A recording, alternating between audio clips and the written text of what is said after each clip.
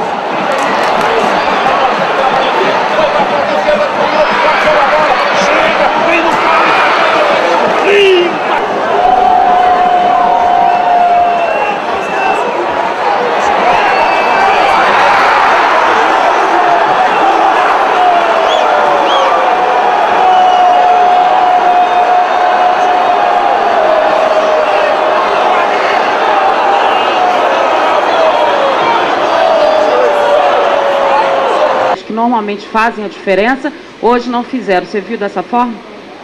Olha, talvez não dessa forma. É, é, Foi um jogo onde o América marcou muito bem, é, franco em muitos momentos, muito aberto, é, bem diferente da maioria dos jogos que a equipe do Atlético havia, havia realizado. É, Perdemos um pouco hoje a nossa compactação, é é um fato normal, é natural isso aí. Logicamente que o América teve méritos para vencer, mas foi um jogo semelhante à, partida com o Cruzeiro, muito disputado, onde qualquer resultado teria sido natural e normal. Eu vejo por esse lado, hoje o América teve mais felicidades, mas foi um jogo, um jogo bom.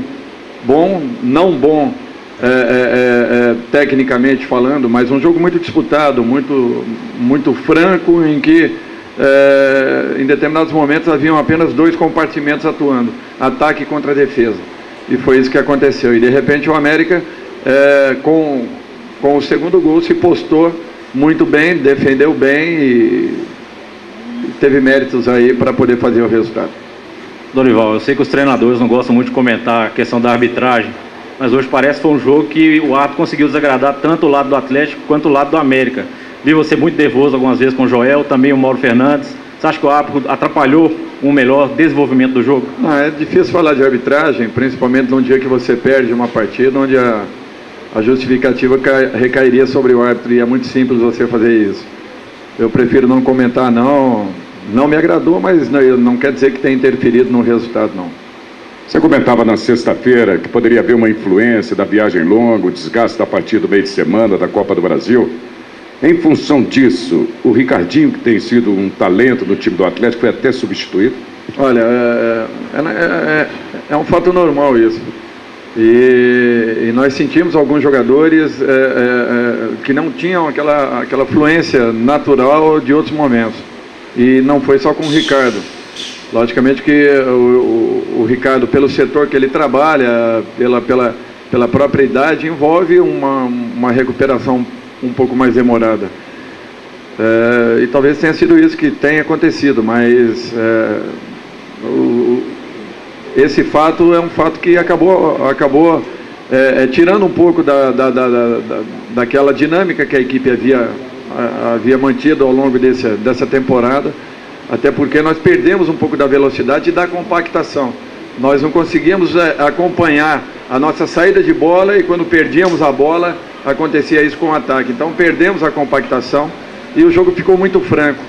E eu tive, pela primeira vez, que fazer uma alteração muito mais defensiva do que ofensiva.